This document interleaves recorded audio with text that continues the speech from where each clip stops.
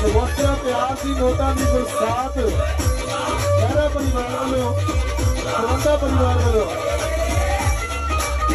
ਸਾਡੇ ਸਰਪੰਚ ਸਾਹਿਬ ਗੁਰਜਿੰਦਰ ਸਿੰਘ ਜੀ ਜਵੰਦਾ ਉਹਨਾਂ ਦੇ ਪੂਰੇ ਟੀਮ ਵੱਲੋਂ ਬਹੁਤ ਸਾਰੇ ਸਪੈਸ਼ਲੀ ਪਿਆਰ ਸਪੈਸ਼ਲੀ ਨੋਟਾਂ ਦੀ ਬਰਸਾਤ।